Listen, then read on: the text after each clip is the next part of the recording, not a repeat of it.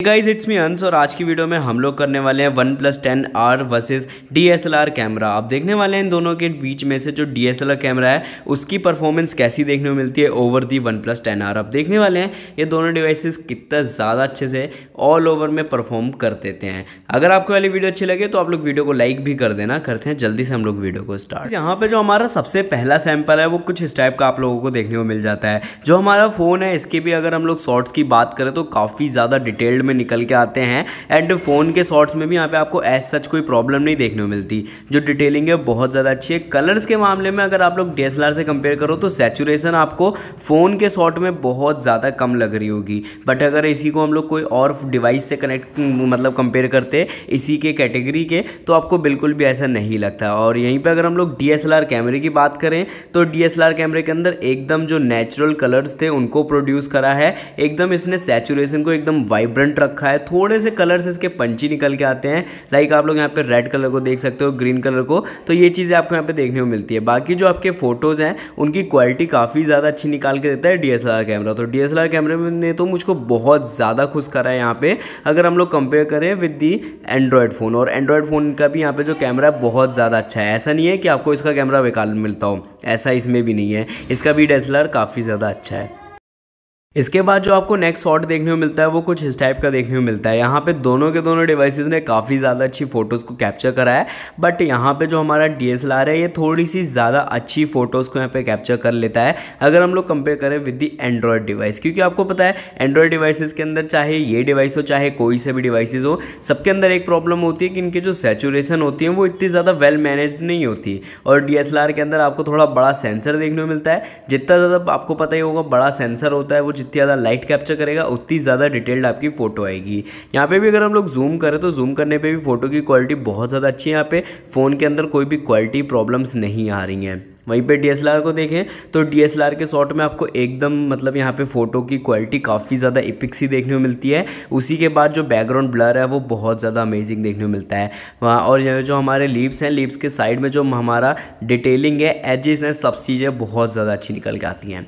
तो इस मामले में भी जो आपका डीएसएलआर कैमरा है, काफ़ी ज़्यादा अच्छा परफॉर्म करता है। बट मैं यहाँ पर बिल्कुल भी नहीं कहूँगा कि हमारे फ़ोन के यहाँ पर सैम्पल्स बेकार हैं। फ़ोन के सैम्पल्स भी काफ़ी ज़्यादा अच्छी टक्कर देते हैं हमारे डीएसएलआर कैमरे को, क्योंकि आपको पता है, ये 2022 है यहाँ पर जो हमारे जितने भी अब नए नए डिवाइसेस आ रहे हैं, सबके जो कैमराज हैं कितने ज़्यादा एडवांस लेवल पे पहुँच चुके हैं। तो इस मामले में भी आपका कुछ इस टाइप का शॉट देखने को मिल जाता है।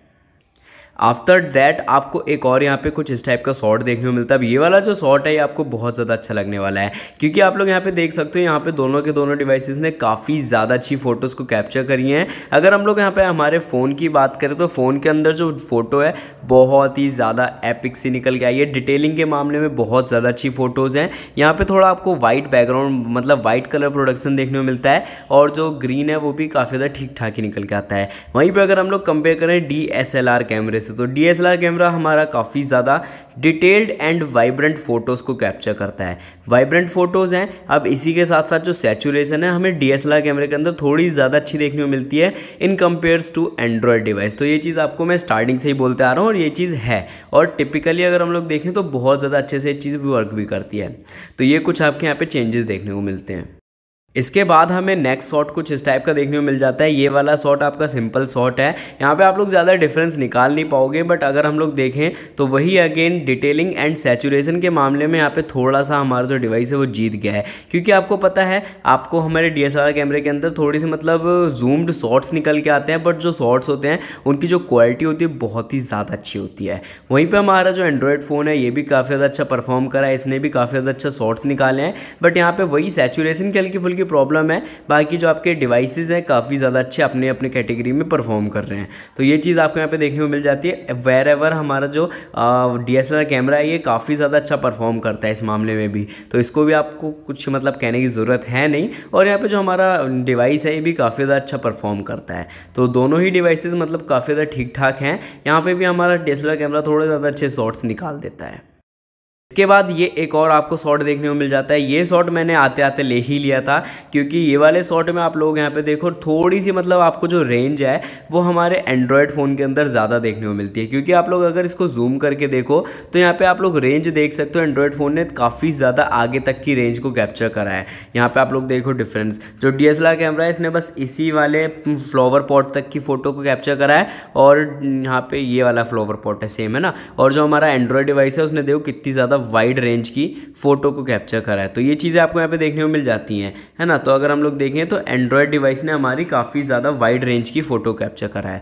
तो ये चीज़ आपको देखने को मिल जाती है। रेंज के मामले में एंड्रॉयड डिवाइस काफ़ी ज़्यादा अच्छा निकल के आता है। सेचुरेशन एंड क्वालिटी की बात करें तो अगेन हमारा जो एंड्रॉयड डिवाइस है, वो काफ़ी ज़्यादा अच्छा परफॉर्म करता है बट यहाँ पर जो डी कैमरा है, थोड़ी सी ज़्यादा अच्छा आपको शॉर्ट्स निकाल के देता है, थोड़े से ज़्यादा अच्छी आपको नेचुरलिटी यहाँ पे प्रोवाइड करता है। तो ये चीज़ आपको देखने को मिल जाती है। आप लोग इसमें मतलब अगर मैं डी कैमरे के नीचे से लोगो हटा दूँ तो आप लोग पहचान ही नहीं पाओगे कि इनमें से कौन सी फ़ोटो डीएसएलआर से है एंड कौन सी हमारे एंड्रॉयड डिवाइस है तो ये चीज़ आपको देखने को मिल जाती। है मैंने आपको स्टार्टिंग में ही बोला कि आजकल के जो एंड्रॉयड डिवाइसेज हैं, काफ़ी ज़्यादा अच्छे से टक्कर दे देते हैं हमारे डी कैमराज को भी।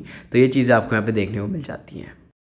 नेक्स्ट इसके बाद एक और यहाँ पे शॉट है। ये वाला जो शॉट है, ये आपका सिंपल शॉट है। और ये वाले एंड्रॉयड डिवाइस के अंदर से मैंने मेन सेंसर से कैप्चर करी है फ़ोटो और हमारा जो डीएसएलआर कैमरा है, ये भी ऑटो पे शिफ्ट था। तो यहाँ पे आप लोग देख सकते हो ऑटो में भी जो हमारे डीएसएलआर कैमरा है, इसने काफ़ी ज़्यादा well managed and well saturated photo capture करा है। और थोड़ी सी जूम्ड फ़ोटोज़ को लेते हैं डी एस कैमराज ये चीज़ मैंने देखी है नोटिस करी है खुद ही। और वहीं पर अगर हम देखें तो हमारा जो एंड्रॉयड डिवाइस है, थोड़ी सी आपकी वाइड रेंज पर चले जाता है बट यहाँ पर जो कलर्स हैं आप लोग देख सकते हो यहाँ पे जो हमारा वाइट कलर है, उसको एक्यूरेट सेम हमारा इसने डी कैमरे में वाइट प्रोड्यूस करा। है यहीं पे अगर हम लोग कंपेयर करें एंड्रॉयड फ़ोन से तो इसने आपको थोड़ा सा ग्रे टोन दिया है। बाकी जो आपकी मतलब ऑल ओवर चीज़ें वो काफ़ी अच्छी हैं। और ये जो आपकी दीवार है यहाँ यहाँ पे मैं आपको दिखा देता हूँ, ये जो आपकी दीवार है, इस दीवार पे आपको यहाँ पे धूप आ रही थी। जो चीज़ हमारे एंड्रॉयड डिवाइस ने कैप्चर ही नहीं कर पाया और ये चीज़ हमारे डीएसएलआर कैमरे ने एकदम अच्छे से कैप्चर करा है। तो ये चीज़ें आपको यहाँ पे डिफरेंस देखने को मिलती हैं, जो कि डीएसएलआर और एंड्रॉयड डिवाइस को डिफरेंट करती हैं। है ना? तो कुछ इस टाइप की आपको फ़ोटो देखने को मिलती है।